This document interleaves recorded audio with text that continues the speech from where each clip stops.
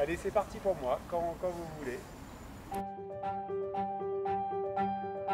I deeply value the culture of trust that we have and the real attention paid to people. My weeks are never like, as I'm usually traveling a lot across Europe or meeting lots of clients. Um, so I really appreciate the flexibility that I have when it comes to organizing my work day.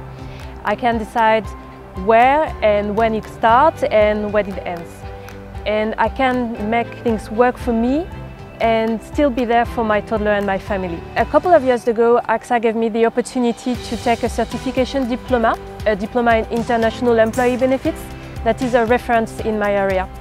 And this involves some back and forth travels between Paris and London and of course some uh, self-studying syllabus.